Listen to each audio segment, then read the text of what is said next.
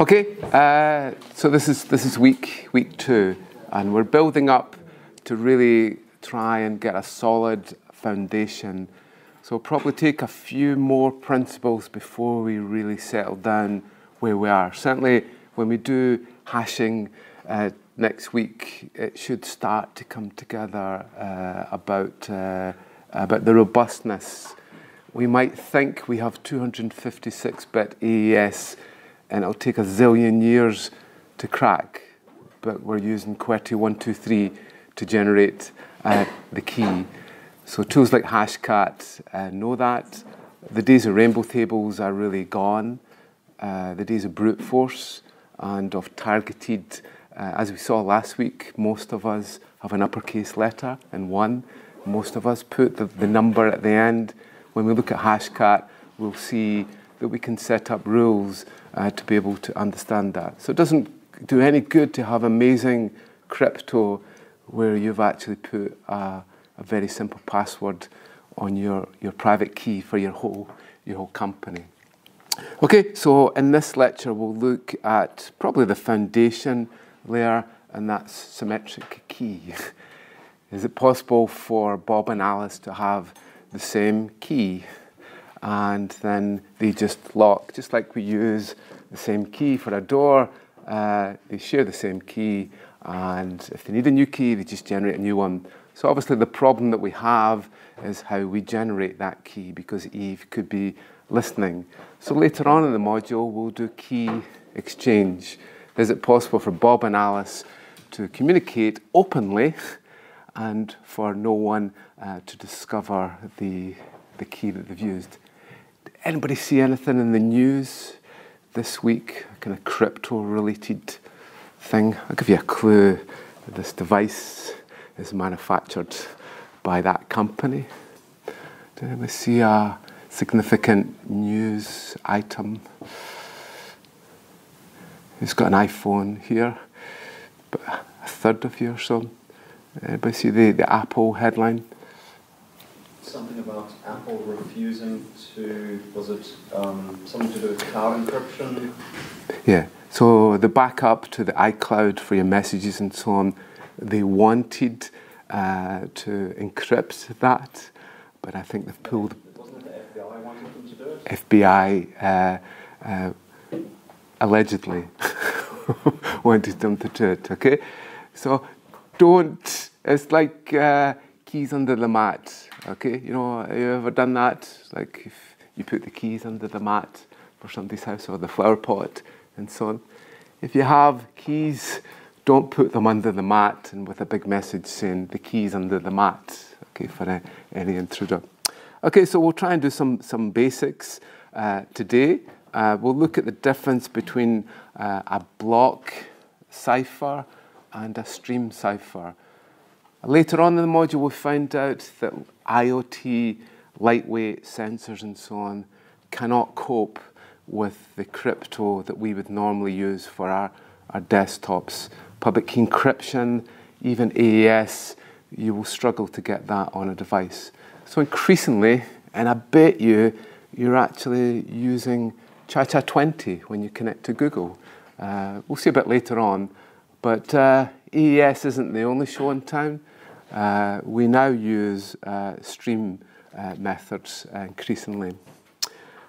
Then we'll look at the basic methods, and then this will come back again and again when we look at uh, hashing and other things, the usage of salt. What we need to make sure is that every single time that we cipher, we add some salt to what it is we're doing, and then uh, our output ciphers will change. So the king of the hill is AES.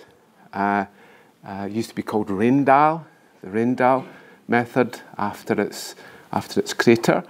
And uh, it's still the most robust encryption method, symmetric key encryption method uh, around.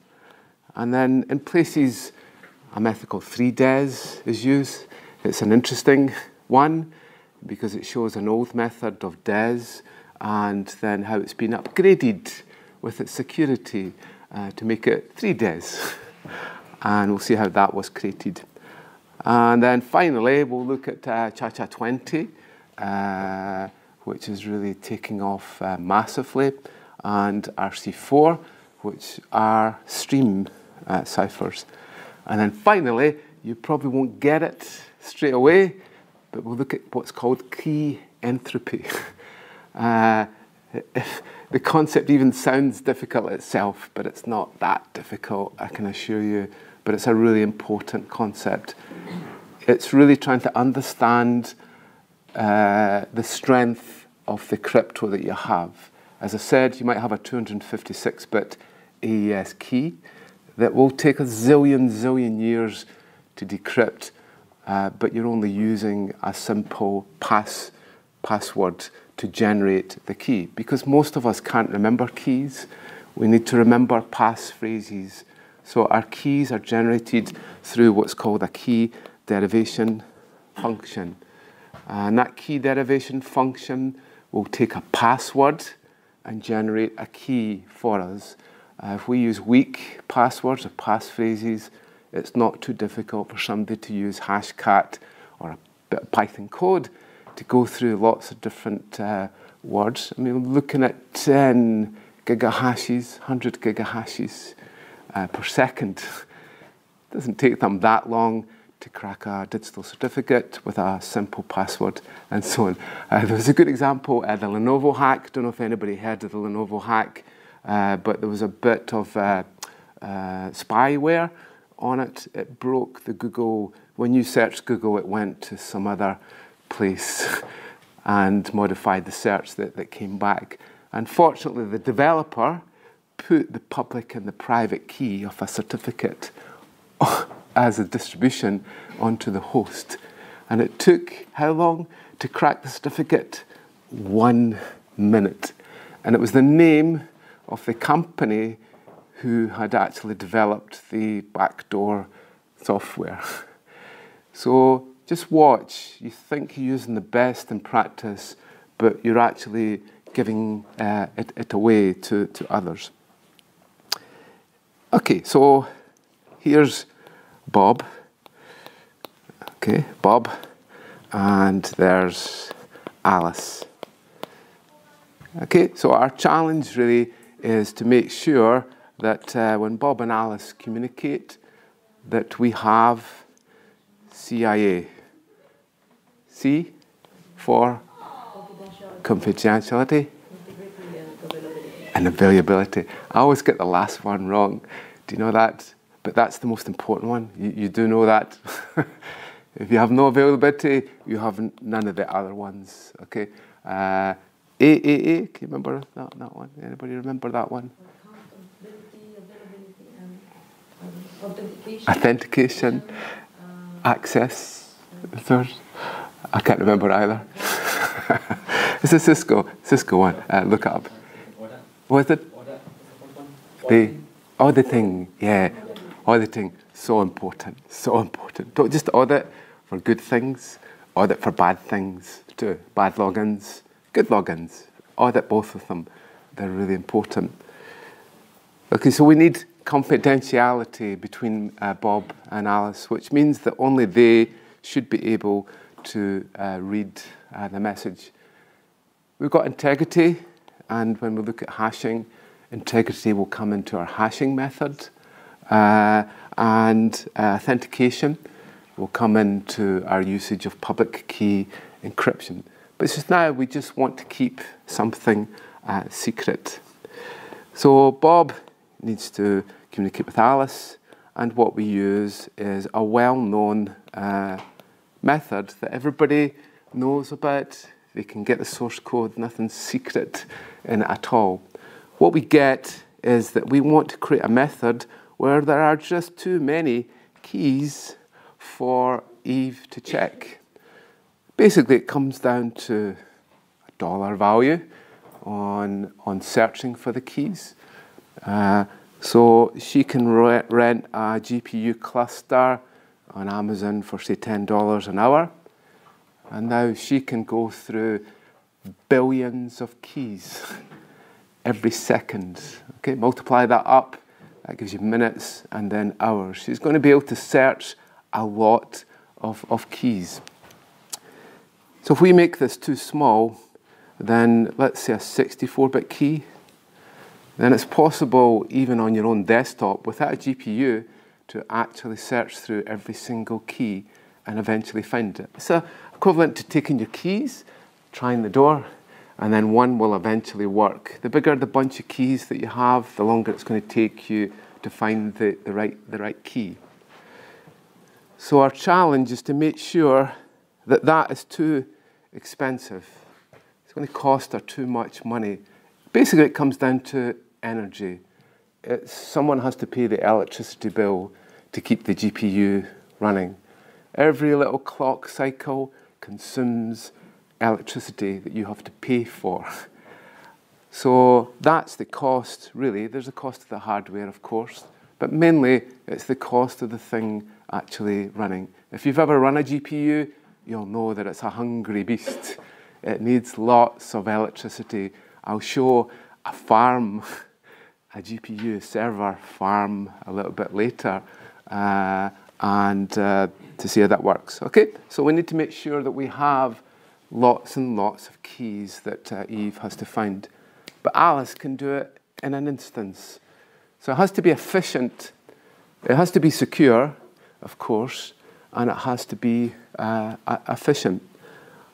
There was a paper published last week called Too Much Crypto. It's a great paper. I'll, I'll send it on the Slack channel. Too Much Crypto. When we've been assessing all those crypto methods, security has always been the number one. It's got to be secure. Space aliens shouldn't even be able to crack this. And you go, why? What's the problem? Why are you not looking at performance and battery drain and, and other things? So there is a viewpoint that, that maybe, and I'll show you the method, we're a bit too much of a stickler for security. If it's already crazy it will cost trillions of dollars even for the NSA to crack a single key, then why do we have to keep assessing security up to that? Can we not reduce it and then we could actually bring in performance, make it quicker, make it more efficient, uh, and so on. So there is a balance, and when NIST uh, uh, assessed AES, there was a scorecard that included security, performance. AES didn't win on, uh, on energy efficiency, it won on security. And there are actually now better methods that could be used that don't have the security level of AES, but are great for performance for things like uh, IoT. So later on the module, we'll do a little bit on uh, lightweight uh, crypto and some of the methods that are used there. So what we have really is that we need a key exchange method. Typically, that's what's called a Diffie-Hellman, and an extension to that. Uh, they openly communicate, and in the end, they have the same shared key. Okay, that key either exists for a long time or a very short time. In the perfect case, it exists once and it's gone. It's never going to happen ever again at any single time in the future. There are that many keys. involved. Uh, for Bitcoin, nobody's ever going to have the same private key, hopefully. uh, I'll show you a bit later on in the module, but some people do have the same key. There's flaws in software. Uh, key, private key of one exists, I think, at least about a thousand times. Uh, there's some flaw in, in, in, the software, but really, your key should never uh, exist. Later on, we'll look at, at uh, how it's possible uh, to make sure that none of your keys that you've used in the past will be uh, cracked. Okay, when we look at TLS, we'll see there is a method now, and TLS 1.3 supports this, to make sure if somebody gets your long-term key, they cannot look at all your Wireshark and crack all of your keys that you've used uh, in, in, in, the past. Okay, but for just now, we're going to look at, uh, at uh, symmetric encryption. Okay, so there's, we did that one. That was just a little introduction for you. We won't assess anything in there. and now we're starting on our first uh, real uh, uh, uh unit uh, now. Okay, so you should find on the GitHub, we've got the content, so today's lecture should be there eventually. the labs, the lab for today is looking at symmetric encryption, and I'll, I'll give you a quick overview of the content again, just so that you can get used to it. Okay, so this should come off Moodle, and you'll just go to Unit 2. And Unit 2, you've got today's lecture, uh, the lab content should be in there. Uh, try not to look, but there's some sample answers there. okay. So only when you're really struggling do you actually go a little bit in here and actually have a look uh, to see that. If I've missed any out, then then uh, uh, give us a shout. Uh, so most of the content should be uh, in there, uh, and the key learning objectives that we have for for each unit. I've included sample exam questions. Don't worry too much just now about them uh, I'll give you a heads up on how you might want to write towards that. But our first test will be all about writing against these type of uh, questions. No multiple choice at all. Uh, they're written more in a critique type way.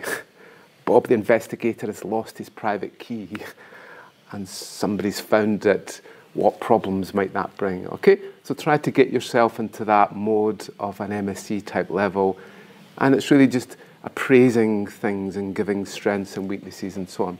But I'll give you a heads up on that. I've only included them there just now. If you wanted to answer a couple of them, uh, ask a few questions, uh, then they should be there. We have a WebEx every week on a Monday at 6.30 if you want to join it, mainly for uh, our remote uh, students, but if you just want to say hello, if you're not doing anything on a Monday evening, at 6.30, I'm sure that's not the case, but uh, uh, please, please go on there and I'll answer any questions that anybody has. But remember, we have the Slack uh, channel. Uh, please use that. If you have any questions at any time, just ask them. Try to avoid email if, if you can, just for this one module, because it's really difficult to kind of cope, and we want to catch every single uh, question. Okay, does anybody have any questions about where the content is and what we're doing and things like that? I appreciate it takes a few weeks for us to get up to speed, uh, but hopefully uh, we'll, we'll, we'll, get there. Okay, uh, so that's the, that's the core uh, uh, structure. you have your lab every week. The lab is there for you to develop your practical skills. Like it or not, it's a practical uh, business.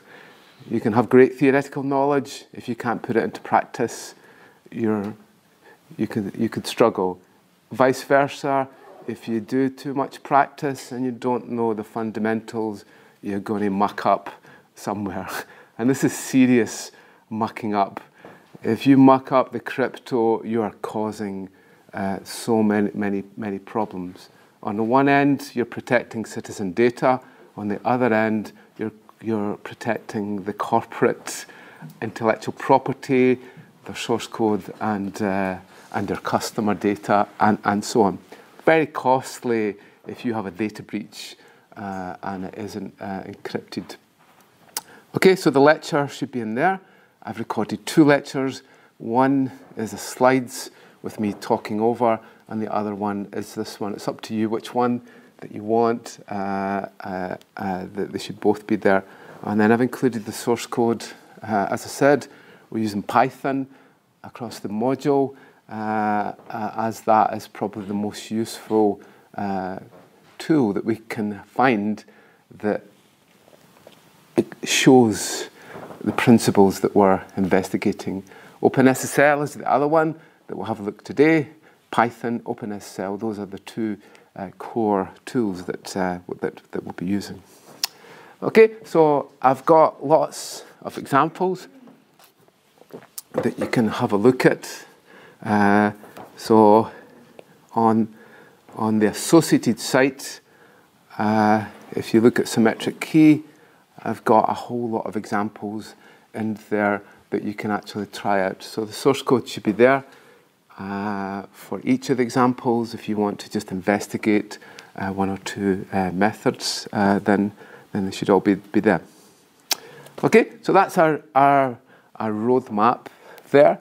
Uh, we have our symmetric key is our core way to protect data. We have our key exchange to be able to generate the key between Bob and Alice. Uh, we have hashing methods to make sure we have integrity. Uh, we have digital certificates or public encryption uh, to make sure that we can get trust between uh, Bob and Alice and so on. Okay. So we have Bob and Alice here, and we need to make sure that uh, we have some sort of privacy between them. Identity is proven with a public key, and we'll also find that we can uh, use public key or private key uh, to create that uh, integrity in there. Okay, so as I said, we use a standard algorithm that's been approved and well published. So the days of secrets are, are gone. You can't really keep anything by secret by obfuscating it. So Bob and Alice must come up with the same key on either side and to be able to encrypt it. And the biggest problem is that what happens if you lose that key, you're stuffed. so if you lose that key and you can't ge- regenerate it, there was a tweet this week from someone said they'd lost all the bitcoins. I don't know if it was if it was real or not, but someday they corrupted their their Bitcoin wallet and they couldn't recover their private uh, key. And it's true because it's elliptic curve. You can't recover a key uh, because you didn't even have the passphrase uh, to recover it. Okay, so if you lose that, then it's finished. the data is likely to be gone. Unless you've used a very simple password, you could use uh, a brute force to be able to try lots of different keys and eventually find them. You'll find most people can recover their Bitcoin wallet uh, because they've only used maybe about 20 passwords in the past, and you just have to give that to Hashcat and it'll try different permutations of that. So it's not lost. You can probably recover it because you've been a bit silly as a human. The best way that you can ever do this is to print out 12 words and put it into a safe. Because uh, you can, with the 12 words, you can regenerate uh, any uh, encryption key. Uh, so make sure that you, if it's something uh, important like a database uh, encryption key, then it's backed up somewhere and probably even in a paper form. Okay, so that's our three different classifications of, of, of encryption or ciphering. Well, there's three there, and encoding. Uh, symmetric, we use the same key on either side. Those are, are some of the methods that, that we use. Uh, most of these are seen as insecure. So RC2, RC4, DES, and so on are old crypto that are, are, have got flaws in them.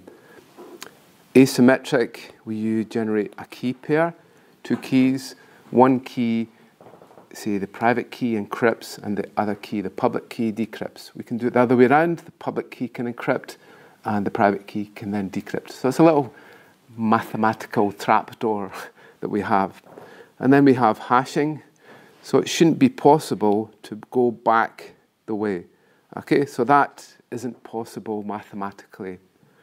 But as we'll see, we can create a brute force on that to try out lots of different uh, data elements and produce the same hash. Uh, and then at one time we had rainbow tables that were created for every single uh, uh piece of data that was ever created. So then we added in what's called salt. And salt made sure that the hash value uh, changed. So now what we do mainly is that we have a where we attack against a dictionary attack. So the dictionary just goes through, common words and tries them with permutations. If that doesn't work, it goes from AAA to ZZZ, and we'll do a, a brute force like, uh, like that. And then the final one is just encoding methods, uh, base 64, hex, octal, Unicode, uh, who, who knows. Base 64 is the most common that we would use in this module. The other one is what's called a binary array. A binary array is like a normal array that you'd get in a program, but it has one byte in each.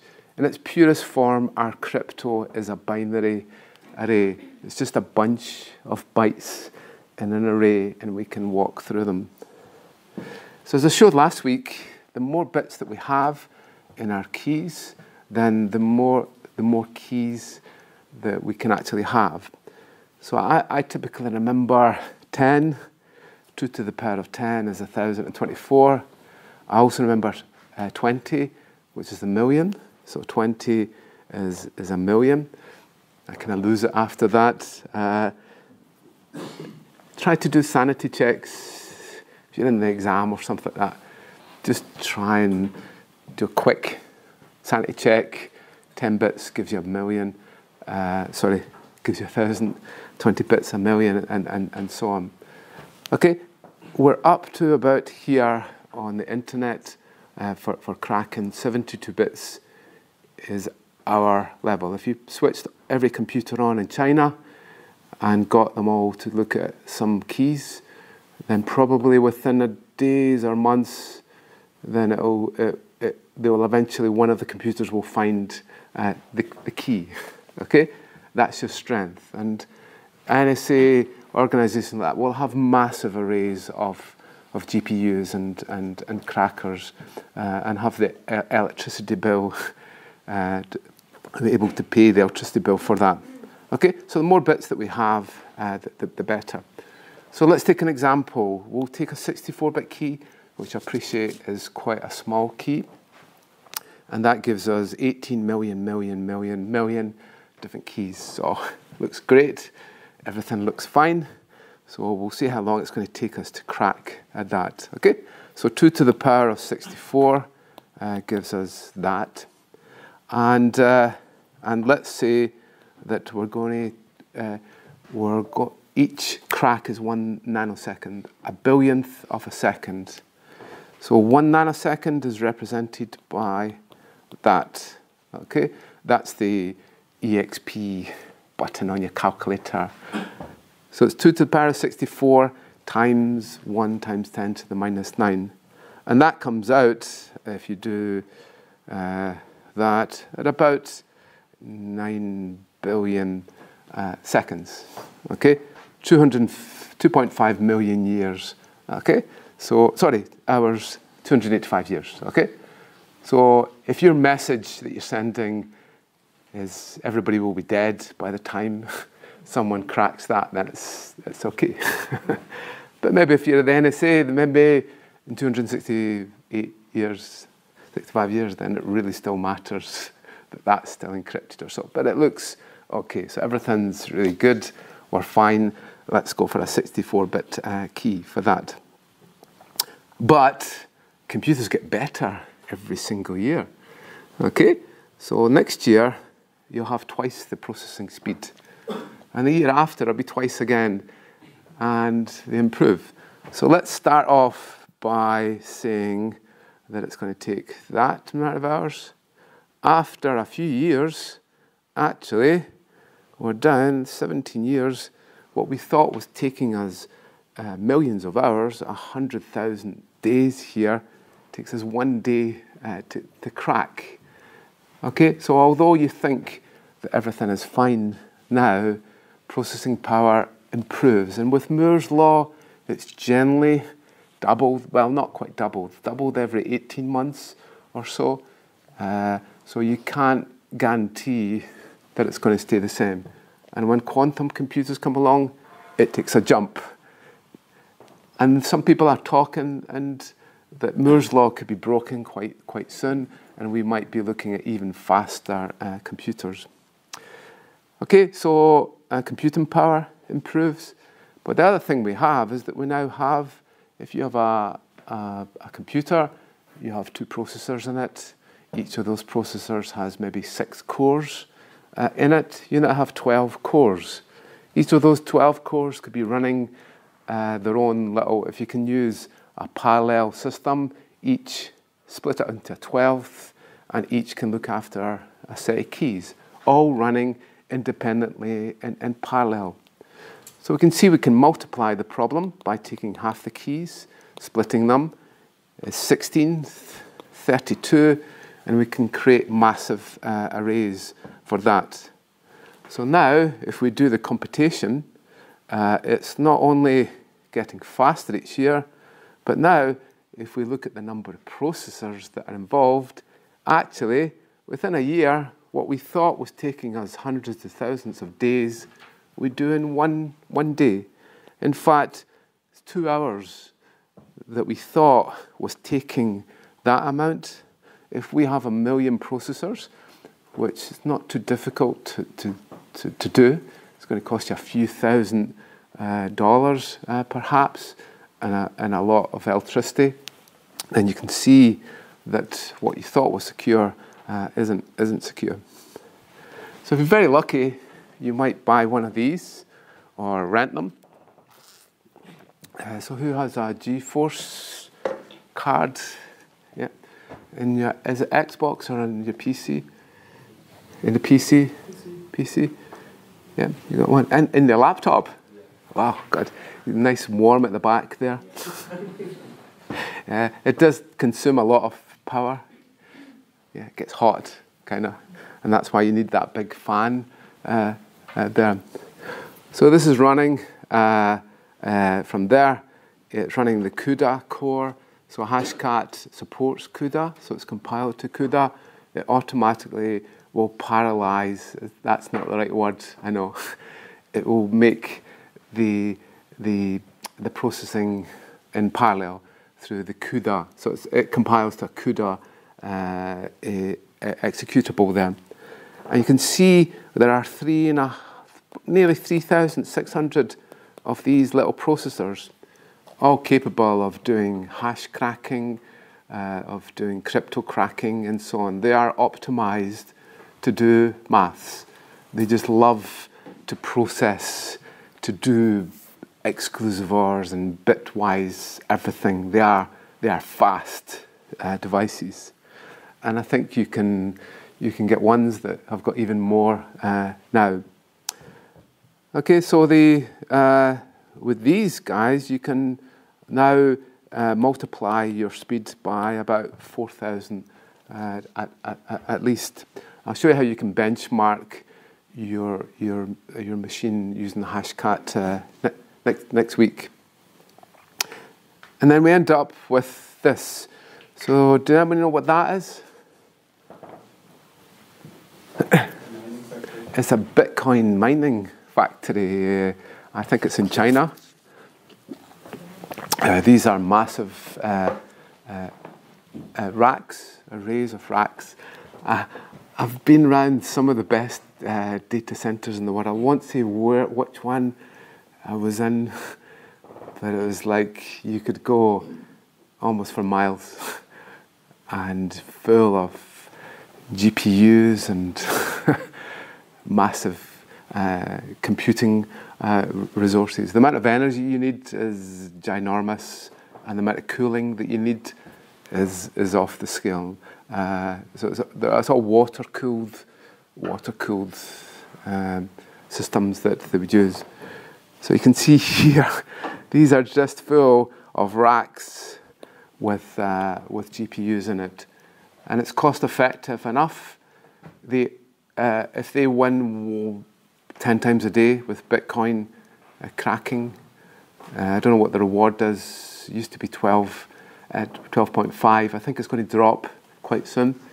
They're rewarded 12 and a half bitcoins whenever they find the right hash for the block. Every 10 minutes in Bitcoin, uh, a new hash needs to be created, and then and then the, the miners work hard to find it, and then this one GPU here finds it. I found it.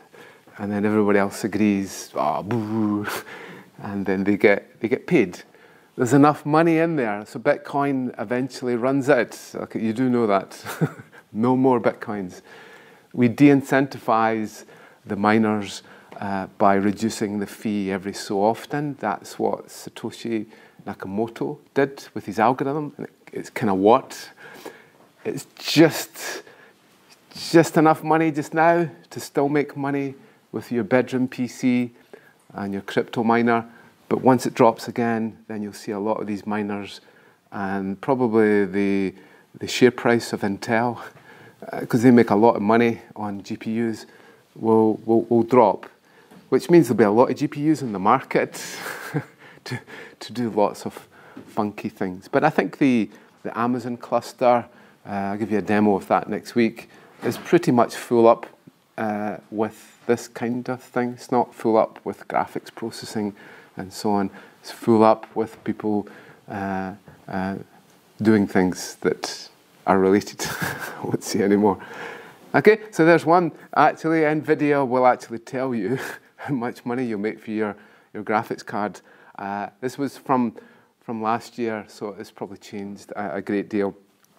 So they reckon if you buy that card and you keep your PC on all the time and set it up as a crypto miner, uh, you'll, you'll get your money back in about a year. So probably that's just one time that you manage to win. Or you can be part of a cluster. You could all be parts of a miner. So let's say we all of our PCs were turned on and we said, we'll all get together and whoever wins will share it amongst uh, anybody. So that, that, that can still happen. There's JavaScript that's been uh, uh, uh, created. Uh, there was one example in Starbucks in South America. When you connected to the Starbucks, you, you had this script that ran that made you a Bitcoin miner. Unfortunately, there was a bug in the first version, and your CPU went up to about 100%. So it's kind of obvious that, that, that, something was going wrong. You just connect to Starbucks and whoosh, your PC gets a bit, a bit hot. Okay? So there you go. That's, that's how much it costs you a day, uh, about half a dollar. Uh, and that's your kind of returns uh, there. Okay, so what, what's the different types of a symmetric key that we have? Well, we need to, our data varies. It could be one byte, it could be a zettabyte. Do anybody know what's above zeta? I, I don't know, I'm asking anyway. Is it femto? I don't know. It goes giga, tera. I've, I've lost it now. Tera. Eh, what, what goes after tera? Zeta. What? Ter, tera peta. Yeah, yeah. Please get used to this because you'll be talking about petabyte. Oh, my PC's only got one petabyte. You do know in post quantum, there's a paper that was published that uh, a RSA uh, private key will be one terabyte. It's crazy. There is. A, I'll send the paper. one terabyte, just one terabyte, just just for a key, because of the post quantum uh, problems. Okay, so what we basically do is that we take our data and we cement it up into blocks. We put our data into blocks and we package it up and then concatenate them all together and send it off. At the other end, the person takes takes the data stream, cipher stream if you want to call it, chunks it back and decrypts each block uh, one at a time. Okay, so we take our cipher block, we take our secret key, uh, we cipher each of the each of the blocks. In a stream cipher, it's different. A stream cipher, it's really simple. It's just an XOR gate at the end. So we take our bits, ones and zeros, and then we take our secret key and we feed it into something like RC4 or ChaCha20 with our random seed, we'll call it a salt or an initialization vector. And then it produces a pseudo infinite key. I say pseudo infinite is that if you need an infinite amount of bits, then you'll get it. If you need one bit, you'll get it. So, whatever length your stream is, it will produce the key uh, for you. And then all it has to do, uh, I used to draw XOR gates like that. is to XOR together. Uh, is this the right symbol? Is that the right symbol that you use? XOR. Is that right? Is everybody agree? No. Uh, so we, we just XOR. And that's the great thing about stream ciphers. It's a really simple uh, ciphering process and deciphering, which makes it much, much faster in them. Okay, so there's here's RC4, which has been used for Wi-Fi in the past. It's got a kind of bad track record, and it wasn't its fault. Uh, what happened? Does anybody know what happened with WEP and wireless? It was a kind of bad story. Uh, they used what's called a 24-bit initialization vector, the salt, which meant that it wrapped round. It came round again. And all you had to do was XOR the same IVs. And you would get the original, you would get the text back uh, again, which meant that uh, after a day you could crack the whole of the, the Wi-Fi uh, network. You just had to force it through something to roll over and you would be able to crack. And in those days, it was a shared key across the whole network, which meant everybody's Wi Fi was, was, was, was broken. Uh, so it wasn't really RC4's uh, fault for that, it was just badly designed uh, Wi Fi. Now we use AES encryption uh, for it uh, mainly. So we take our, our key and our salt uh, I'll say here, but we'll come back onto it, PBKDFS2 is the basic method that we take our password and uh, convert it into an encryption key. And the reason we use that, not MD5, is because it's really, really slow.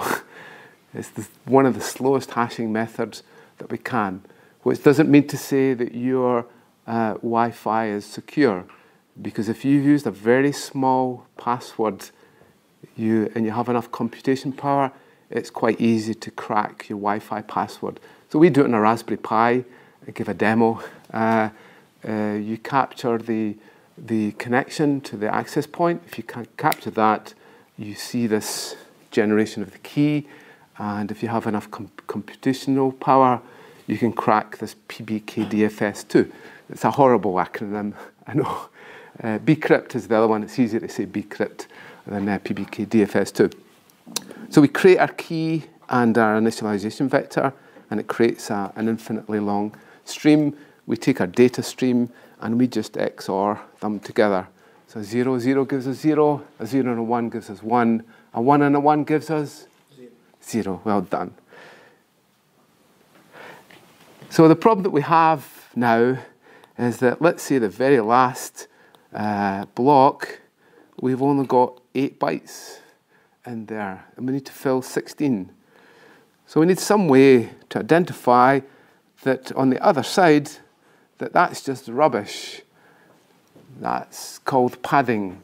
We need to pad out into our last block to make sure that it fills all of it, but on the other end, when we're decrypting it, we know that that's just uh, rubbish. The core methods that we can use are these, but I'm only going to, uh, we only typically use CMS uh, from there. Uh, it's defined in lots of standards, and it's the standard way that we would typically uh, pad that last uh, byte. Because if when you decrypt, you'll get rubbish at the end. And that's the last thing that you want with an email, to be encrypted, to have rubbish at the end of your, of your signature.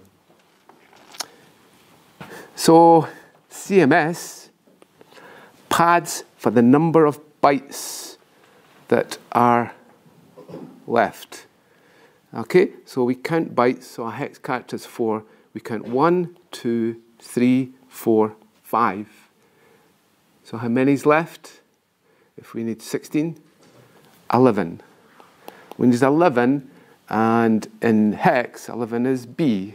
Okay? So we pad with B, B, B, B, B, B to the, the very end.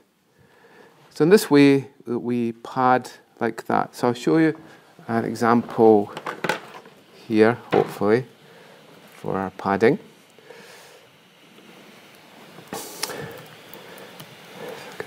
Find one.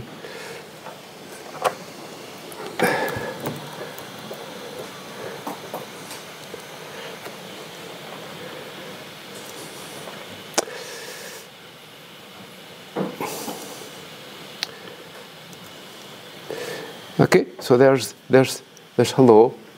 So you can see uh, I've padded there with uh, with zero B's. If I now add one more character, what will the padding be? Do you think?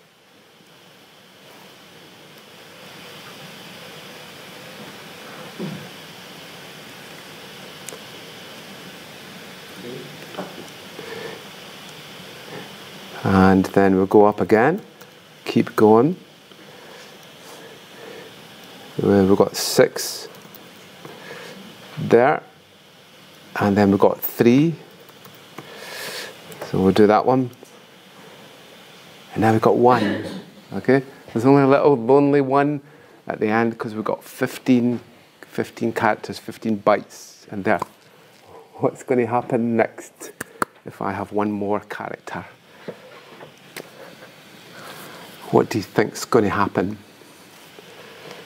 If I put in another character, go on, have a guess. There'll be no padding. It'll be No more padding. no more padding. That's right, yeah. So where where does it go then? You're right, but keep going. uh, the answer there was sorry. The uh, the answer there was uh, no more padding, which was which is correct. Yeah. Sorry, I've got to repeat the question, so I'm not being rude. I've got to repeat the question that you said. What do you think is going to happen? No more padding. What's going to happen? What? No more block. Eh? No more blocks, just disappears. Bang! Okay, we create a new block. Okay, this time it's got what's 10 in hex as a decimal? 8. Okay, so we're adding on from there.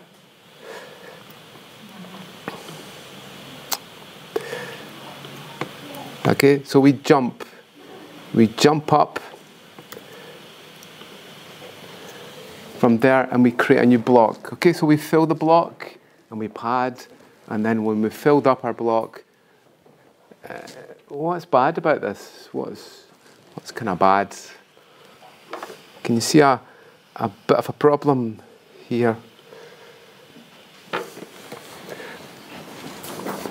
consider previously, can, you can take out, so if you inspect the, the code, you can take out this. Yeah. um, Oh, you can take that out. That, that's right. Well, you'll not see it because the next part is ciphering. So you'll not see the padding in the cipher. But I can tell how many characters roughly you've sent. Is that what you, that, yeah. So I can tell by the length of your cipher roughly how many characters you've got in there. If it's between 0 and 8 and 0 and 16, it's just one little block. If it's 32 and more, it's another block. So that's the, that's the kind of downside of this. So there are other methods, but I'll, I'll not outline uh, those uh, uh, at, at all.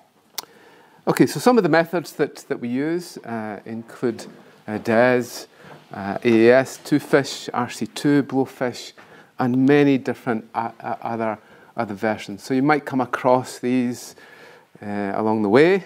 Uh, uh, 3DES, AES, uh, ChaCha 20 are, are, are, the, are, the, are, the, the main methods that, that we would see. And they, they all kind of went ahead to to the NIST standard. NIST had a competition, and many of the methods, such as Twofish, were advanced, but they lost against. So this was a Bruce. This is a Bruce Schneier uh, method, and he advanced that. He submitted it to the NIST AES standard, and it didn't win uh, at, at, at the time. Uh, so it's just that AES just happens to be the, the king of the hill just now. 3DES, RC2, and Rijndael AES are the main methods. 128 bit, 256 bits, and everybody kind of forgets the one in between. Nobody ever uses 192 bits, but it's there. It's there. It can be used, uh, and uh, it's possible.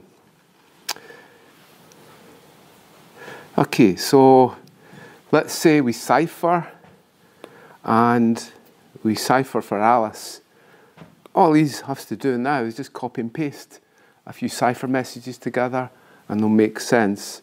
Or she could play back that message to, to Bob, to Alice. So we overcome this by adding uh, salt. And salt allows us to change the cipher uh, output. Only by knowing the data and the salt can you produce the, the cipher uh, together. So the most basic encryption method is what's called the electronic codebook. With the electronic codebook, we take our key and we encrypt our cipher block one at a time. Okay, uh, 128 bits for AES is our block size. For DES, it's only 64 bits, so it will vary depending on the, the type. If we add salt, we add what's called an initialization vector uh, with the key, and then we add them together and it creates a cipher block. And then each block will be different because we're using a different salt value uh, for it. So one method we can use is what's called CBC or cipher block chaining. With this, we have our key and we take our initialization vector, our salt, and we XOR our data with the IV, creates an encrypted block. We then feed that block onto the next block and then do the same uh, thing to get uh, an encrypted uh, block. It means that we've got to have all of the data received before we can actually decrypt uh, the, the, message. So here's an example, well-known example, uh, of using ECB. And look, we're using AES encryption, but why can I still see the penguin?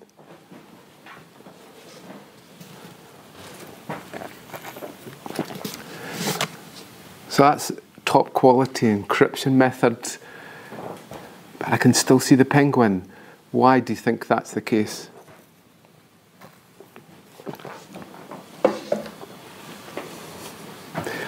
Well, the way the ciphering's done is that you can see there's uh, a JPEG is, is, is done in, in little pixel blocks and so on. So what's happening here is the same pixel block has the same data and will come out as the same cipher at the other end. So you can actually start to see common patterns with inside the image. If we use CBC, then it's noise. Uh, the best encryption should look like noise, completely random. Every byte is as equally probable as any other uh, byte. So never ever use that one. It's funny that the first versions of ransomware and it was great, came out with ECB. So you can actually easily uh, crack them. Uh, many times we get asked, "Can you can you find the key for the for the uh, ra- for ransomware?" no, it's completely random. Do you know how people get round that? So there are, there are companies online that say we'll we'll we'll we'll decrypt your ransomware. Do you know what they do? Often, sometimes how do you think they do that? So the key is complete random. So the ransomware goes on your machine, like the Travelex uh, example. So you can't get the key because it's completely random. Okay, it's impossible to find it. They, they, they encrypt it with their uh, with their public key, send it back to the back office, and it's sitting there as a ransomware key. It doesn't exist anywhere else. Do you know how they manage to do it? They pay the ransom. I have to go, oh God, I never thought of that one. Here's me with my Hashcat and the Python program, and I said, yeah, yeah, we, will we'll decrypt it for you. Just send the files. Hello, is that is that is that the uh, is that the ransomware people? Yeah, uh, thousand dollars, no problem. We're, we're making five thousand on this anyway, so it's a four k profit. we're calling it. Uh, don't, I don't advise you to, to do that kind of thing. Morally and ethically, it's really bad. But there is one case of one company that is thought. The other way is that the, the cyber criminals have been busted and they've, they've managed to get their private key. And the private key can then decrypt any of the keys that are found. But basically, if you've got ransomware, you're kind of stuffed. uh, to, to, to get the data back because you're not going to get the AES key which I, I created it. Okay, so here's an example here. I'm taking lots of E's uh, and I'm using a 64, 64 uh, bit block for DES. So that's eight characters, okay? Eight ASCII characters will fit in one. For AES, it's 16. Try and get that into your head. 16 for AES, characters, 8 bytes, 8 for DES. Okay, so E, E, E, E, E, and then I put it into ECB, and look, every time my block comes out the same, same, same, using that password there, we'll see the repeated pattern here, here, and here, and so on. Okay, so it shows why you really need to add salt to your cipher because you can actually see at the end. I mean, the last little bit has got the padding, so it looks a bit different, but all of the cipher blocks will actually look the same, and it's not too difficult to, to crack that. So let's look at AES. AES. okay.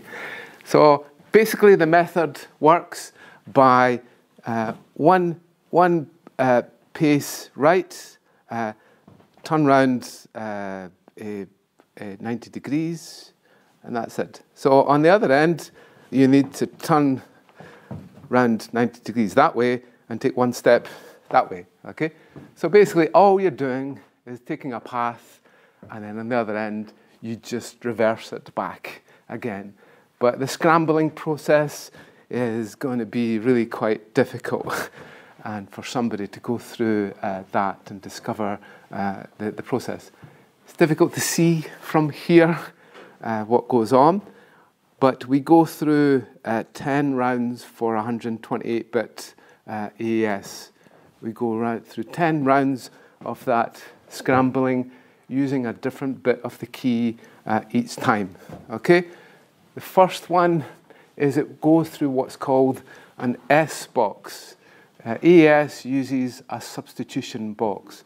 It's a little scrambler if I take a byte in, out the S box comes another byte.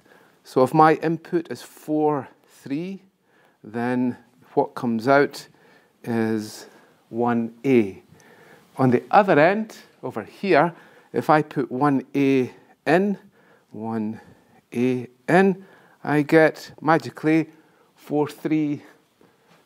Can you see that? That's not lining up, is it? You get 4, 3 out there. Didn't quite. Okay, so the S box is a scrambler, which is a bit of a problem because everybody knows the S box. Uh, here, uh, we've managed to crack 128 bit crypto in 30 seconds. And we do that by listening to the electrical power supply. uh, and you see little glitches. Uh, because you know the S box, we can reverse that back, and in 30, 30 minutes, we can actually recover all of the key. Uh, I'll send you the video of it being done live by Dr. Owen Lo here. Uh, we're also looking at the radio waves. you do know that your mobile phone gives off radio waves that can be picked up. The signs of crypto are obvious when it's actually uh, working. It's what's called a side channel you might think that everything is great, and this is great, but our systems leak information that can be uh, cracked. So there's an S box here. You then do a shift row. You take your little, you take a little matrix of four by four, and then you do a little row shift of that. The next one is a column shift. You do, remember your little matrices you get, you do shifting of the columns. Okay, so then it just goes through that 10 times, and the other end, it does the reverse, does the column shifts in reverse, does the row shifts, and then goes back through the S box, and it comes back. Okay, isn't that beautiful? Sorry. so might, some people might think the Mona Lisa is beautiful. I, I kind of think, well, I think public key is beautiful, but we'll, we'll do that a little bit later. But it's amazing how it works and, and how the uh, how it manages to, to, get, the, to get it to, to, to work. Okay, so I've got a little demo uh, of uh, the explanation of that if you want to watch it. I've added that to the, to the content. Okay, how are we doing for time? Oh, my battery's going to fail in a minute. Uh, what, what, we'll do is we'll have a break. We, uh, we'll have a break for five minutes. I'll get the red star uh, distributed. Does anyone have any questions on what we've done? Uh, we'll do our last little bit, then we'll have our, we'll have Bob. I'm looking for you this week to do better in the second part. Okay, so we'll have a break for five minutes. I'll get the red star, and then we'll, we'll continue on and do our little bit there. Okay, thank you.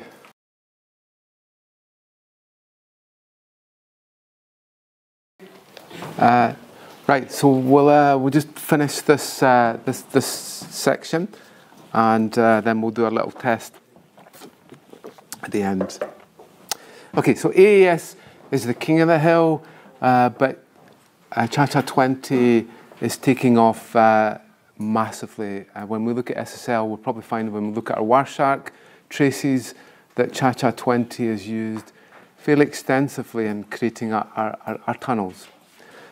Another one that's used is what's called 3DES. And 3DES is really interesting, I think. Uh, so DES used to be an old standard and it was 56 bits and it was used a lot in the finance industry and so on. 56 bits, as we know, is insecure because it could be brute forced quite, quite easily. So they had the problem, how are we going to upgrade DES when we have all these devices and crypto already?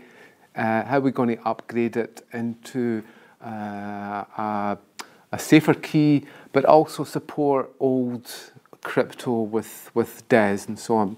So what they came up with was this. So you probably won't see what we're doing here and how it works, uh, but have a little look uh, back uh, to see the, the, the, basic process. But basically what we do is that we take three rounds, we take our keys and we create two keys.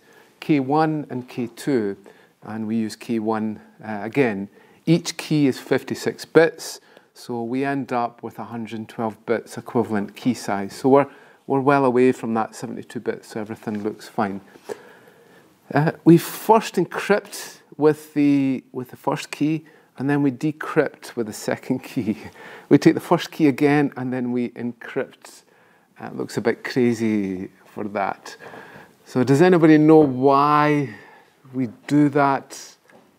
Just seems, why don't we just do 128 bits in for one encrypt phase? Can anybody see what we could do here? I'm not expecting you to answer this, but does anybody, can anybody see what we could do here?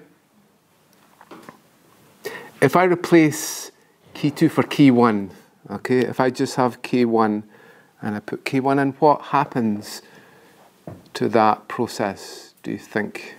It's just 56 bits. It's just a DES, okay? So the whole reason for this is that if I wanted DES, I could just feed in K1 equal to K2 and I get DES. It's going to take three times longer than it normally would, but at least I can buy a single chip.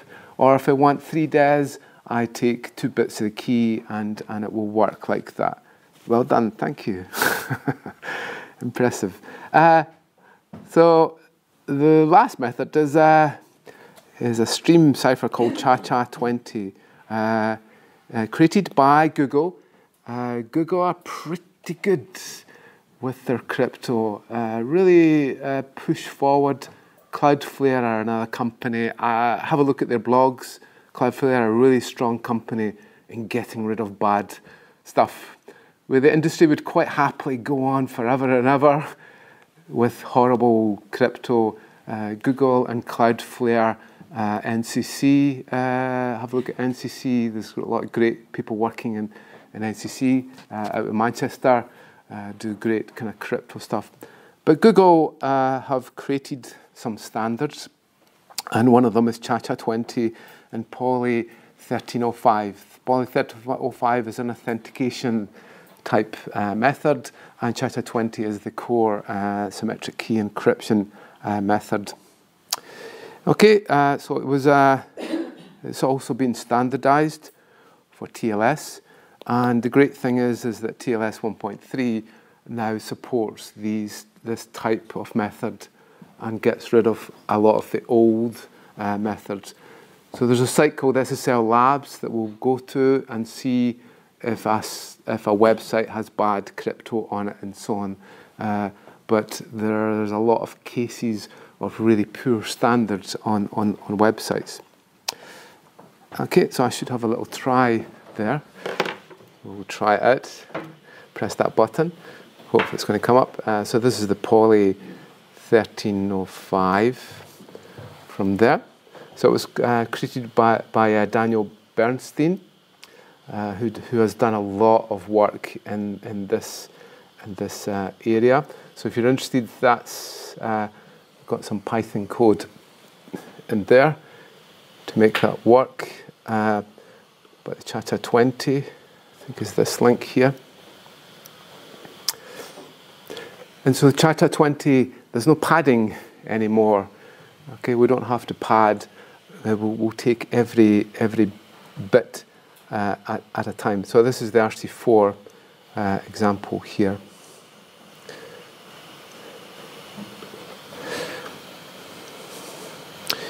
Okay, so it's been standardized and it's now integrated into uh, a lot of di different, different methods. Okay, so the standard version is typically 128 or 256 bit with what's called a 32 bit nonce. The nonce value is the salt or the initialization vector.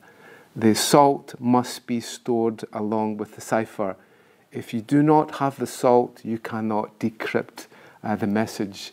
And that's a problem because when you have your cipher, then the intruder can take the salt and then take your password and put both together, and then they'll be able to decrypt uh, the, the message. So it's three times faster than, uh, than AES, and it's very good for IoT and, and lightweight uh, devices. Uh, so this is RC4. Uh, this is a little bit of Python code uh, in here that that implements the RC4 method. And you see it's quite simple. okay, uh, it, it, it's not like that scrambling, horrible shifts and all that, rows and S boxes and, and things like that. It's a simpler type of uh, code that will implement our stream cipher. So this will fit much happier on your little sensor than having to implement that complex AES method with its big S boxes and, and, and so on. So this is the key derivation function for, uh, for uh, uh, our RC, RC4. So this will create our infinitely long uh, key. But it's this one here. Does this look crazy to you?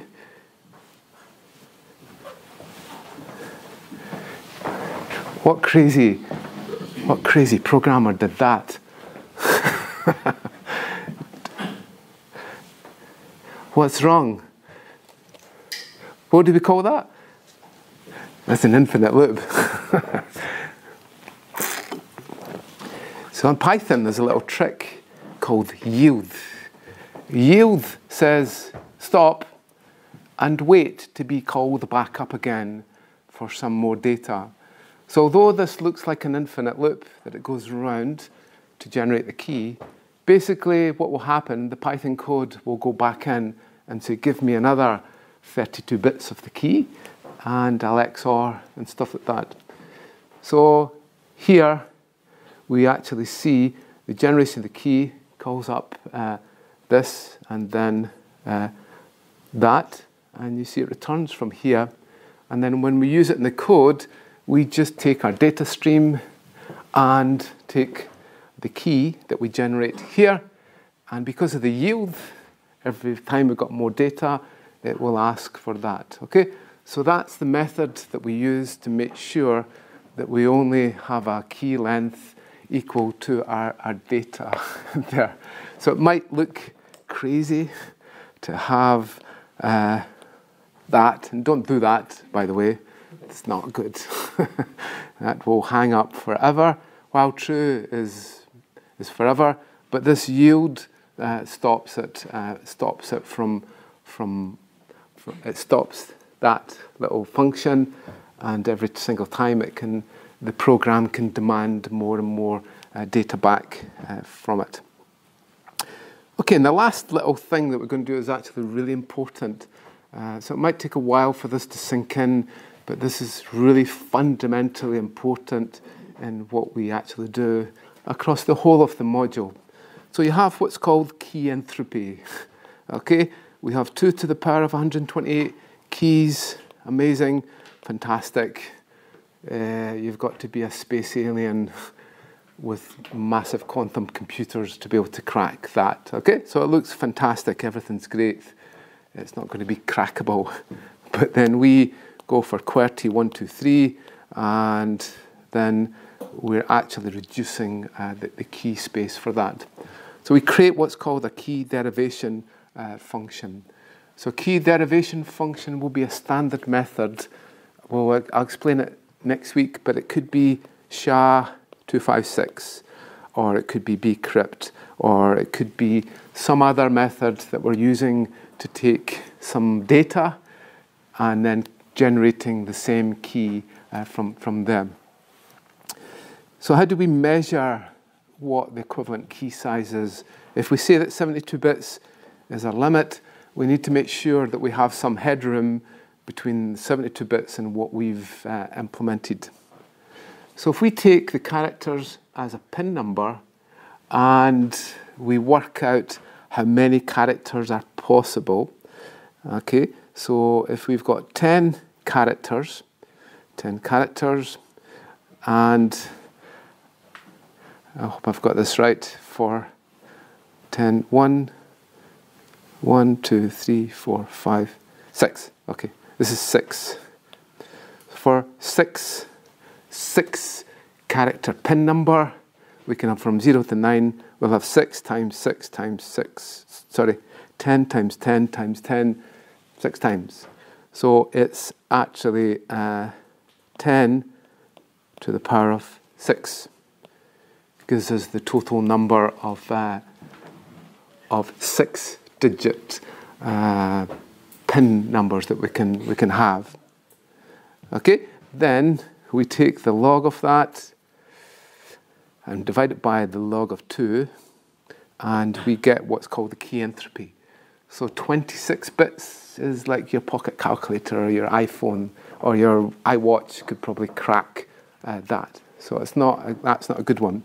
If we take lowercase a to z, then that's 26 to the power of 6, which gives us uh, that. That's the number of uh, different passwords that we can get with lowercase, only A to Z. And we look at that and go, that's not good, 37 bits. We now take upper and lowercase. Upper and lowercase, we now have 52 different characters. So it's 52 to the power of 6 will give us the total number, and it's looking a bit better, but it's still rubbish 45 bits. Now we take numeric, 62 different characters roughly uh, in there, 26, 26 and 10, 50, 62. That's the number of total brute force uh, things that are possible. You can have tilde a hash 946. That's still rubbish. It's 47 bits. It's not good. One second on a GPU will crack. Um, uh, a microsecond, sorry. a microsecond will crack every single six character. I'll show you in a little minute. And now if we go for lots of different characters, these other ones in there, go there, and it's still, it's still uh, pretty bad. So we'll just try this out, and I'll show you for our entropy in there. Okay, so let's go for a hash cracker of a billion, 100 billion per second. And I'll just go for maybe 256.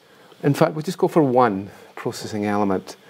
If I go for uh, A to Z, A to Z, uh, every single nine character password is cracked in 54 seconds. Everyone, every single one of them. Even 10 is cracked in 23 uh, uh, minutes. Okay, that's not a fast uh, cracker uh, there. If I went to a one, uh, say a one tera, two minutes for every 10 character lowercase in there. If I now add upper and lowercase, well, it's taken a bit longer. We're up at a day and a half. We'll crack every single upper lowercase. so now you're forced to put in uh, a number. Okay, well, there we go for uh, eight digits in this case. For upper lowercase and, and numbers, every single password is cracked within four hours. Everyone, every single one in there. So you now ask for all these other characters. Well, we see here for nine digit passwords, if you use tilde slash a, lowercase a, whatever you want, it, they, are, they are cracked in 18, less than a day. Even all of the, your 10 digit passwords are cracked within 60 days. I mean, you might just get it straight away. So this is pure brute force and not a dictionary uh, type uh, attack. Okay, so that's a scary thing to end on, but I'll explain a bit more and I'll show you uh, Hashcat next week. So Hashcat will generally go from a dictionary type uh, attack to a brute force. So this is a brute force at one tera hash, uh, one tera cracks per second only with one processing element, so we're not even distributing it across uh, different GPUs, say. Uh, if we use upper lowercase numbers and characters, 12 digit passwords are at risk. And once they're processed, that's it, they're processed. And the salt values are kept beside the, the hashed value and also the cipher so the intruder just picks off the, uh, the, the salt and then just goes through the brute force, trying each one, and then eventually you don't get an exception, and, and that's the, the password uh, cracked. Okay, so I'll explain a bit more next week, and we'll do more in the lab to try and understand that. So make sure that when you're generating your passwords, then you understand the, uh, the key entropy. Okay, so let's, let's uh, get our little test out. Okay, so if you could uh, connect into menti.com.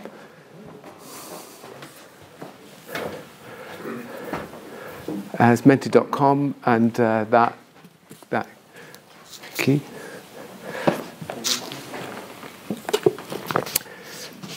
Everybody signed the register?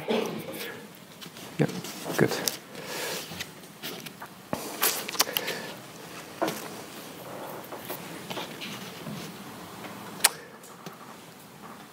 Okay, we all getting connected in some way.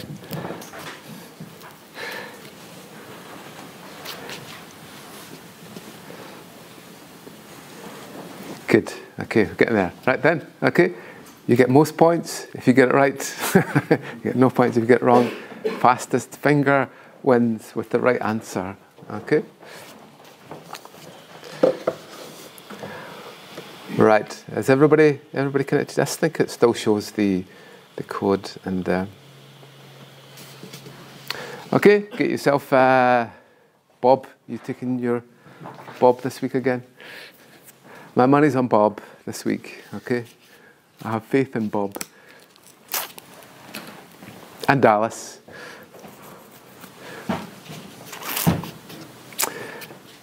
Okay, right, we're all we're all connected. Good.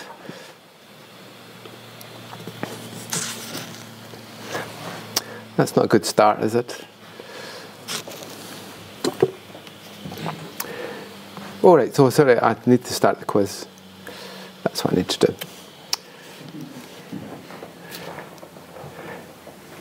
Okay, what was AES originally known as?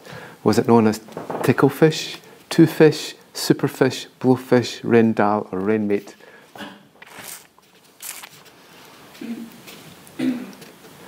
That's good. Not ticklefish. it's not Twofish. Two fish is a method. Uh, blowfish, no, no, ah, no. Rijndael, Rijndael, Rijndael. I'll say it every week, okay? Rijndael. It was known as Rijndael after its Belgium uh, inventors. It's definitely not ticklefish. And well done, nobody took uh, Rainmate, that's good. Okay, so let's see how we got on there. Looks like Snowy Fox. No, Bob. You know Bob?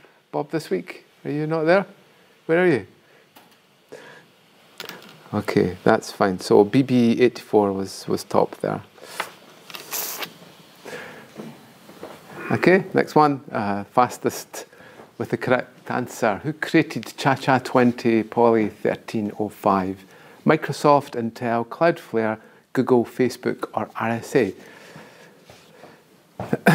RSA were taken over by Symantec, I think.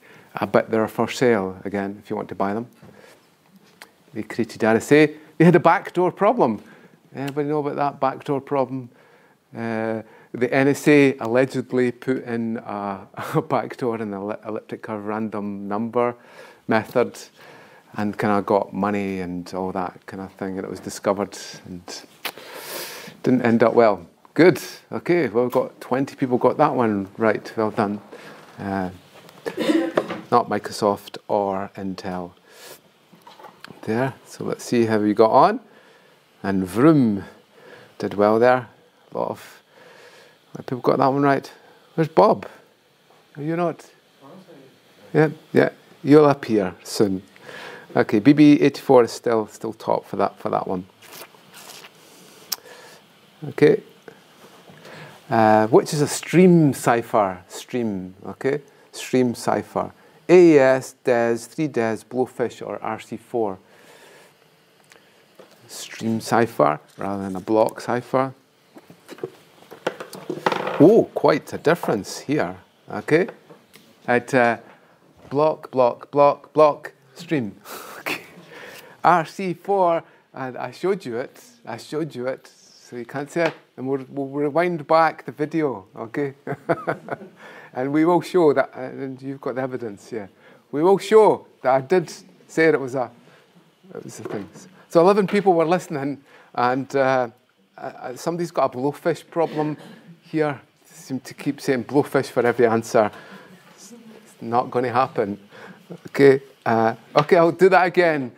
Block, block, block, block, stream. Okay, stream, block, block, block, block, block, block, block. Okay, I can't say enough.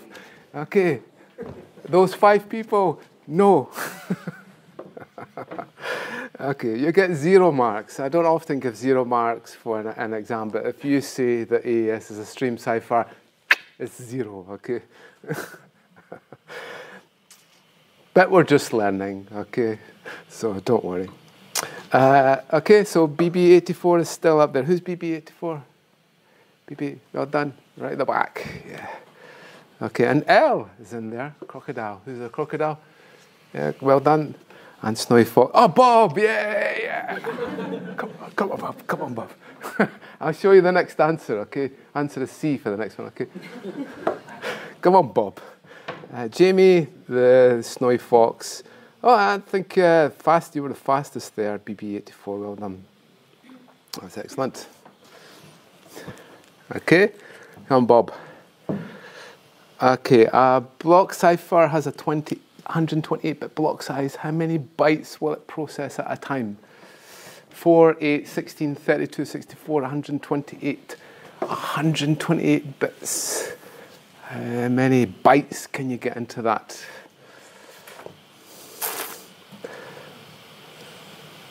Sixteen. 128 divided by 16 is 16 bytes. If you remember back when I showed that cipher, 16 and there. Okay? Uh, no. no, no, no, no. Many times, okay? That's a bit, that's a byte, that's a word. That's a bit, that's a byte, that's a word, okay? That's a bit, byte, word, okay? bit and a byte isn't the same thing. Uh, good. Well, that's good. And those people just went for the one in the middle, didn't they? So that's, that's fine. At least nobody said four, which is good. Okay, so how are we getting on here? Cat 56 did well there. Oh, Cat 56, uh, BB84 didn't do so well. And Bob is doing well, yes. Bob, come on, Bob. Come on, Bob. You've got a Snowy Fox. Uh, who's Snowy Fox? Good. It's all the people at the back. I don't know what it is. uh, so, so that's fine. And Cat 56. Who's Cat 56?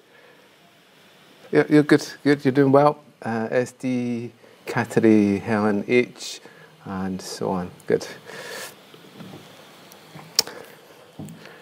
Uh, these are not representative of any things you would get in the test. Okay, so don't worry. How many rounds does 128-bit AES have? I did, I did outline it. I maybe didn't highlight it a, a great deal, uh, but I did say it.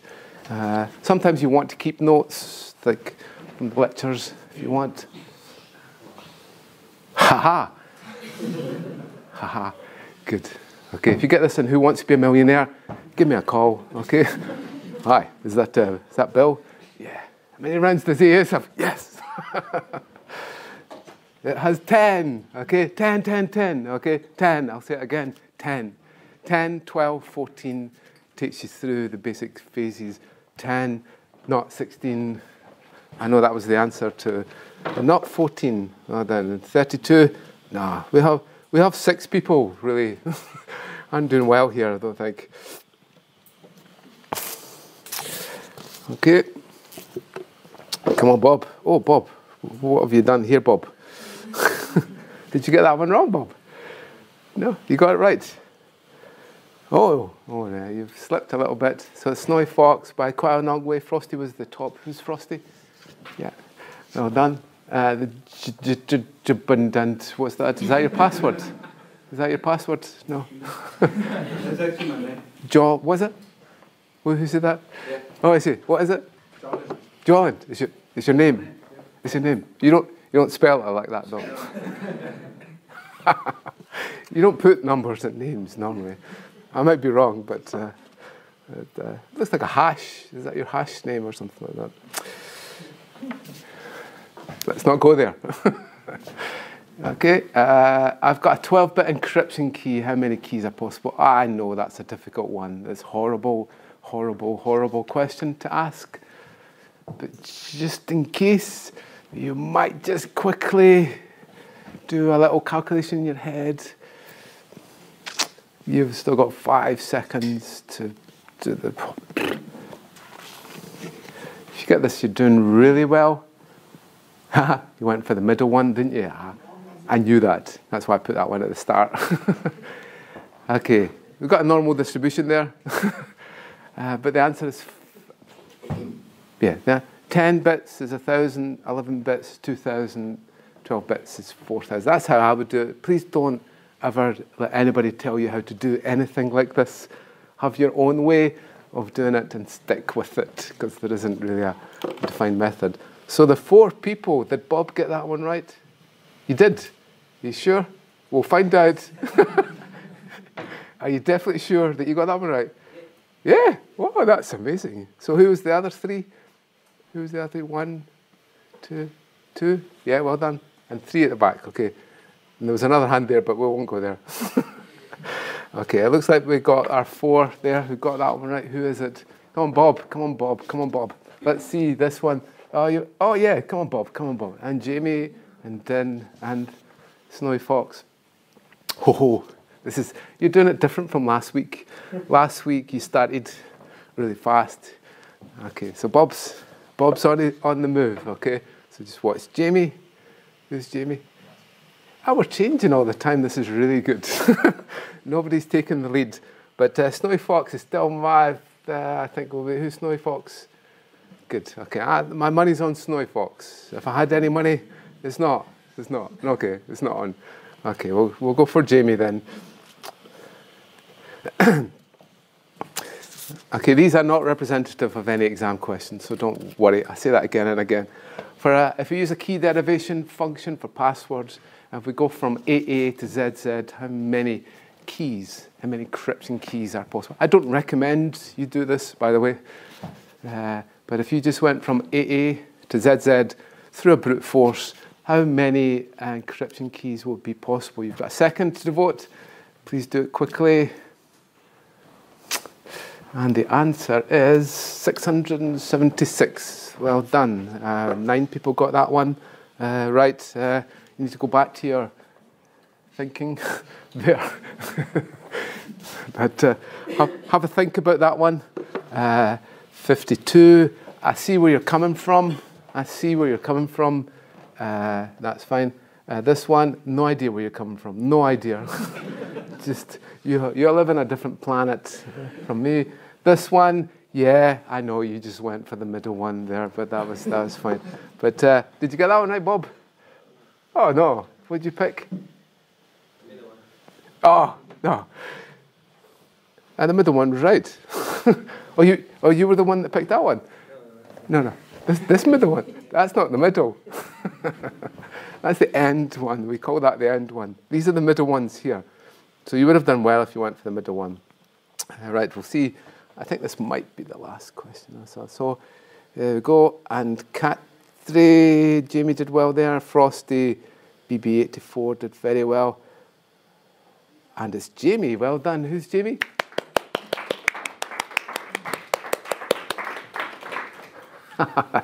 That's excellent. It's always good when a strawberry wins. Uh, nobody dislikes a strawberry. That's that's.